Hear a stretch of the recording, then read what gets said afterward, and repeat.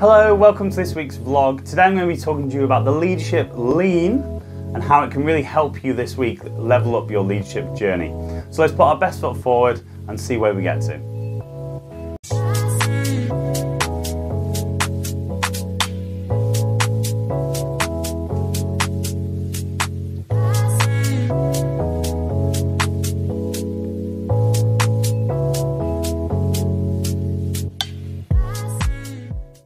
Okay, so as you can see, I'm not off on a walk today, but it's very much linked to what I'm going to be talking about, about the leadership lean.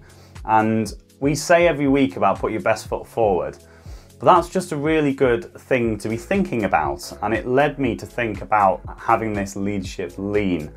It comes from sort of self awareness and um, best practice, being the best you, um, a lot of people think about where am I? A lot of people talk about where you're on the line, are you above the line, below the line, um, a line in the sands. Um, it, it's very much about self awareness and are you aware of where you're currently at and also leaning in the right direction? Are you stepping in different directions? Are you moving forward? So let me explain in a little bit more detail. I want to tell you a quick story. I, I shared this a couple of months ago now, actually, about how I approach um, the normal start of the week. So I make sure that I supercharge my Mondays. And my weeks actually start on a Friday into probably Saturday and Sunday. So over the weekend, I'm thinking about what I'm doing on Monday. I'm making sure I'm hitting the ground running. By the end of Friday, I'm thinking, who do I really want to speak to and what sort of things do I want to be doing on a Monday? Because it's that stereotypical, yes, I've come from an ex-military background, so I had a, I say normal, I, I did have at some point, say nine to five role. and it's that living for the weekend concept, and I've never felt that, but you understand why I sort of talk to clients and talk to myself about really setting yourself up for a Monday morning to lean metaphorically in the right direction because that leadership lean, if we lean, we're gonna at some point have to step. Okay, so even if we have to slow down, and it goes back to that concept I say about people busy being busy, we're doing everything and we're probably falling over ourselves. So it's that balance, balancing act.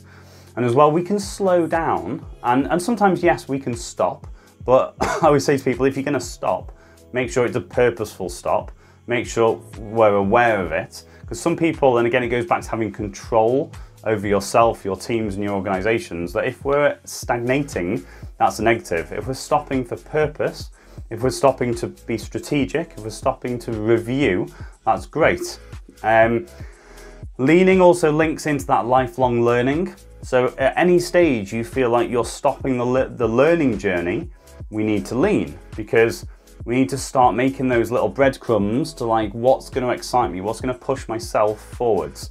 Um, talking about self, um, it's come up in the last couple of podcasts the importance of understanding your personal leadership journey, but at the same time, leadership is about others, okay? And then I've just recorded, uh, you might have seen on my social media channels the end of last week, the 50th episode of the podcast, which was amazing. Um, but my dad, um, who I hosted, if you haven't seen it, my dad was on the 50th episode and um, talked about the impact he had on people around him. So, again, that self leadership piece.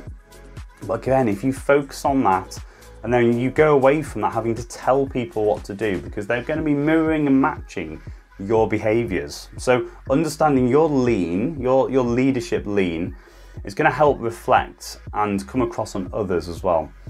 So, I think you get what I mean. I don't need to go down any more lines. So this Wednesday, I always do this on, on the vlogs. This Wednesday, we have this gentleman here, Ben Thexton. Amazing interview. Uh, it was a pleasure to host him. He's written a book about his unexpected journey.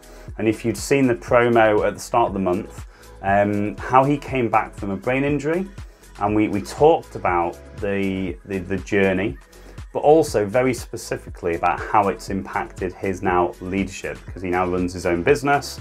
And it's amazing when he's reflected and all those skill sets that he's brought from his self leadership, now he puts into his leadership journey as well. So, get of that. Hopefully that, that works in the in the edit. So make sure you go and subscribe to the YouTube channel. You'll get all the podcasts, you'll get all the vlogs, and remember the website is weeks, weeks. I'm going to say days. I'm to say days, maybe yeah, maybe a week away. But really look forward to seeing that um, and sharing that with you. It would be a fantastic to start knitting everything together. And have a fantastic week. Speak to you soon. Bye.